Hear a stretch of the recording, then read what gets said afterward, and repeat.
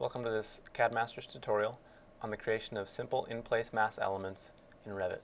The first thing I want to do towards creating my mass is to create a few levels. Um, you can see here I've got three levels and they're separated each by 20 feet. To actually begin the in-place mass, I'll go to the Massing and Site tab of my ribbon and choose the In-Place Mass button. It'll bring up a naming box where I name the mass I'm about to create. And now I can just go into floor plans and I can draw cross sections at each level um, and then those can be connected up to create a mass.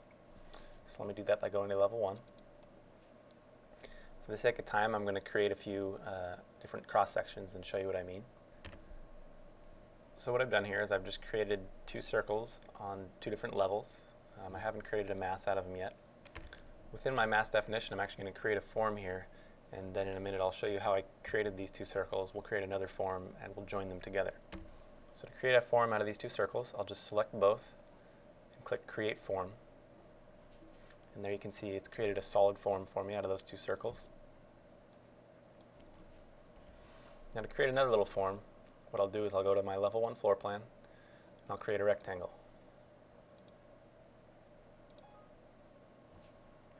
Now you'll notice that it doesn't show up, and that's because I just created this rectangle on a placement plane that's level 2. You see that up here. Um, I need to create one on level 1. So to be able to see both, I'm going to switch to my site floor plan.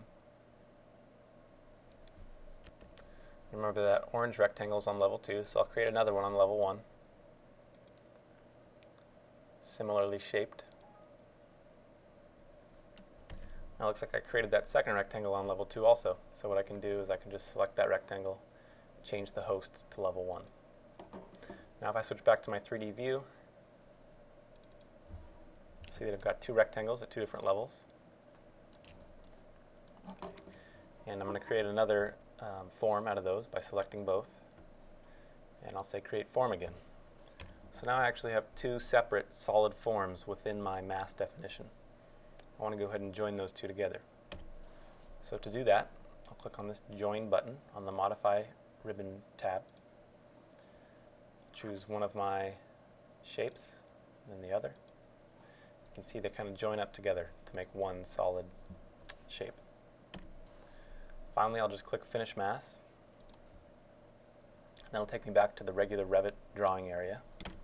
And now that I have this in-place mass, I can go to the Massing and Site tab and I can actually create walls, roofs, um, and curtain systems out of faces of this in-place mass I just created.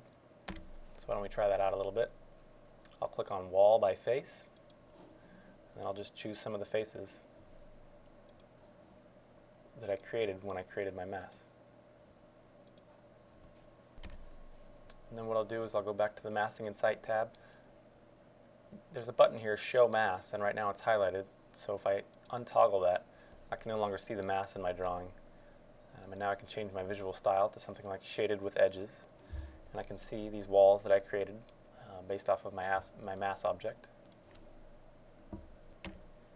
So now if I go back into this mass, if I want to, um, let me turn back on the mass display. I can select that mass. And once I have that mass selected, um, I can actually just go back in and I can edit it in place again. And that'll allow me to change um, how my mass is created. Just take one of these rectangles.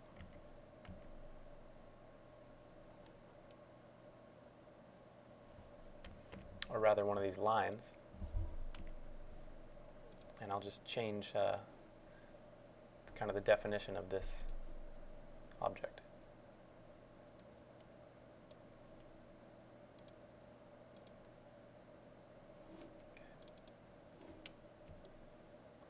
Can see I've actually changed the shape of my mass object a little bit. And if I click Finish Mass, take me back to my regular drawing area. Uh, but you can see my walls don't automatically update to this to the faces of this mass object.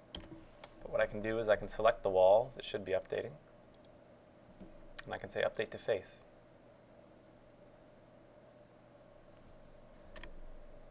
And after doing that, my walls will then update to the faces of the mass that I have adjusted.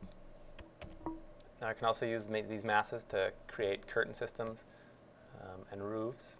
So if I added a, a shape to the top of my mass, I could create a, a roof or even a, a curtain system if I wanted to. Now this is obviously just a real simple mass, a simple in-place mass. You can also create family-based masses, but this should give you a good start. I hope it helps. Um, thank you for looking at this CAD Masters video, and please look at our others to see if there's anything else that can help you out.